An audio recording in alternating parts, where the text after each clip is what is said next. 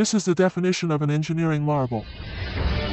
The Yamal is a nuclear-powered icebreaker built by Baltic Shipyard.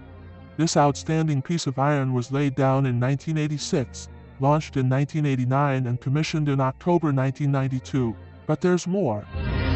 With an impressive weight of 23,000 tons, the Yamal is 486 feet long and runs with two nuclear reactors developing 171 megawatts each and two 27 megawatt steam turbo generators. Designed to cut paths for other ships in northern seas, this insane icebreaker was built with crazy amenities such as a library, auditorium, volleyball court, gymnasium, heated indoor swimming pool, a sauna, and an infirmary.